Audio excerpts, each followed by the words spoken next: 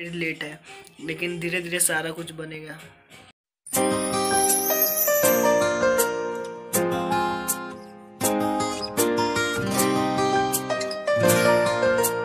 Guys welcome to my new blog आज है twelve जनवरी और अभी बज रहे हैं दस। तो गाइस सो के उठ गया हूँ गाइस आज का भी कुछ है। आज कहीं जाना नहीं है बट है कुछ कहीं पे बिज़ी रहना है।